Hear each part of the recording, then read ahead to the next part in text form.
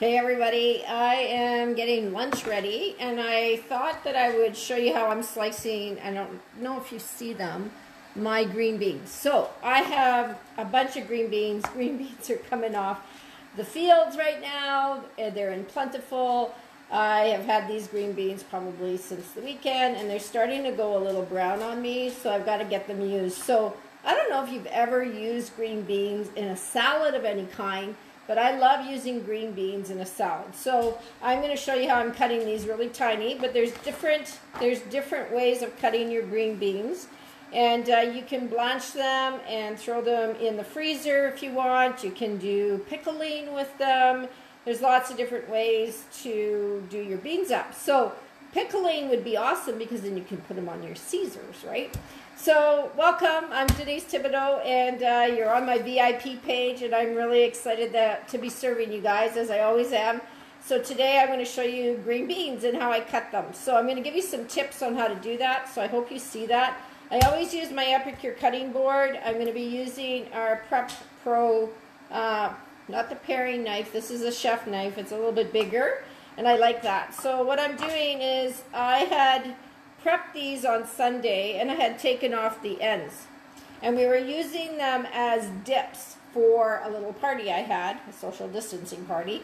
And so I still have lots of green beans, but they're starting to go. So I'm going to make actually a tuna Asian salad for lunch. So I'm going to show you how I cut my beans and then I'm going to come back and I'm going to show you how to do the Asian tuna salad because I'm going to turn tuna uh, I'm going to show you different ways of using tuna instead of the standard tuna sandwich. And you're going to love tuna by the time you're done.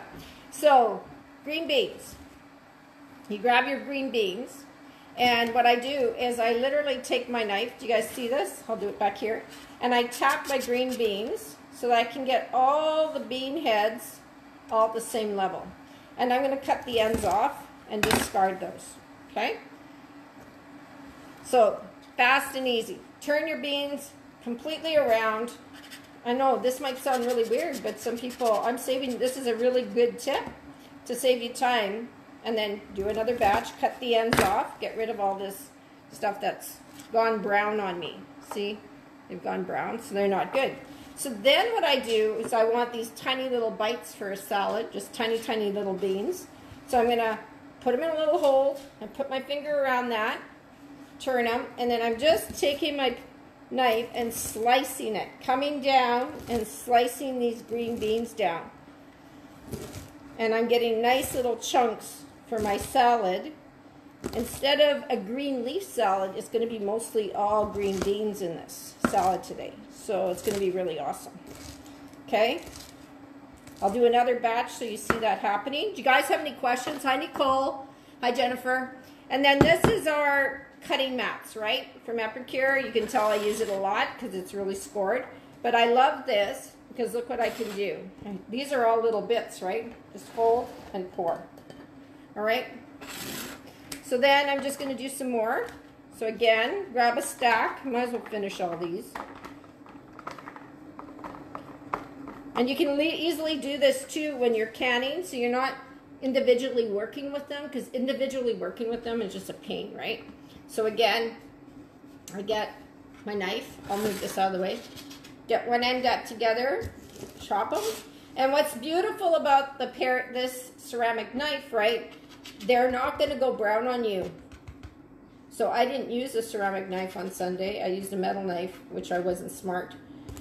But it's been Sunday, Monday, Tuesday. We're Wednesday, so that's four days. So the brown is not really much. Okay, and then I'm coming down.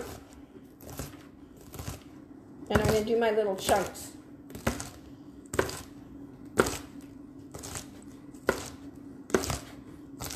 You can hear the snaps of the black of the beans. Oh, I love, I really, really like beans.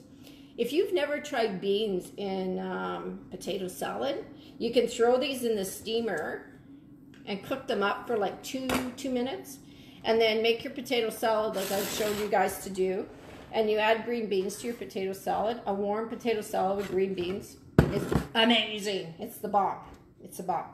Okay, so that's how easy it is to make green beans in small little chunks for you guys. All right, so do I keep going and show you the Asian salad or come back and show you how to do that? I'm to cut this video. All right, so I'll come back and I'll show you how to make an Asian tuna salad for lunch that will just like spin your head because it's so awesome. Okay, we'll be back in just a few minutes. Bye, guys.